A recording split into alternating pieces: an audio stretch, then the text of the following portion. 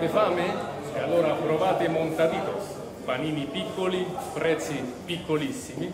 Poi potete scegliere tra varie cose spagnole e la cosa più bella è stata fare un locale del genere proprio qui, in questa situazione molto tipica per Latina ma anche particolare in quanto è una cosa che viene dalla Spagna e con tutta la, la cultura spagnola.